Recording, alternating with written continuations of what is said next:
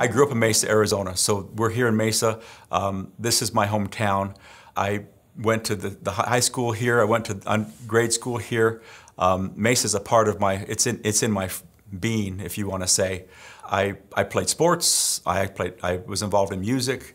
I've been involved in Boy Scouts. I've always been involved in activities and, and involved in serving the community, even as a youth, uh, in student council and things of that nature. I have lots of friends from even back high school and grade school days that I still associate with and enjoy.